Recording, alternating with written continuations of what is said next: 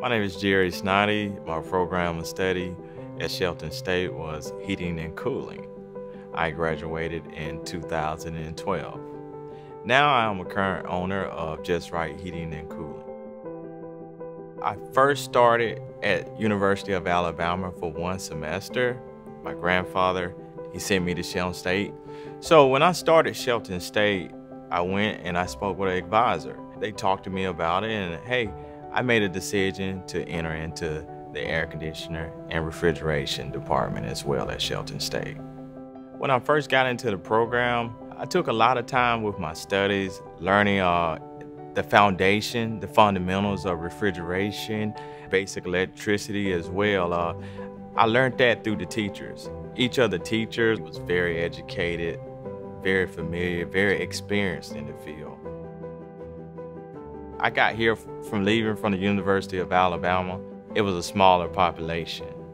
It was more hands-on training. It was more one-on-one -on -one teaching with the student. You got a smaller uh, community here. So I could uh, reach out to any of my peers. In 2010, I met Suresh Singh in the refrigeration department at Shelton State.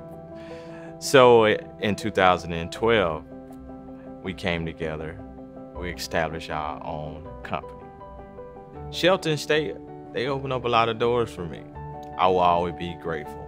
I think um, I experienced everything that I needed as far as college wise. I got a lot of help from the faculty, the staff. Uh, I think everybody showed me a lot of love. This is a great school. Uh, they have great instructors. You have all the skills on the table here. You're provided with the equipment to work on, to learn the equipment. You have all the brains around to learn how to work on it, fix it, uh, accomplish any kind of goal that you have here, as far as in the classroom or hands-on work as well.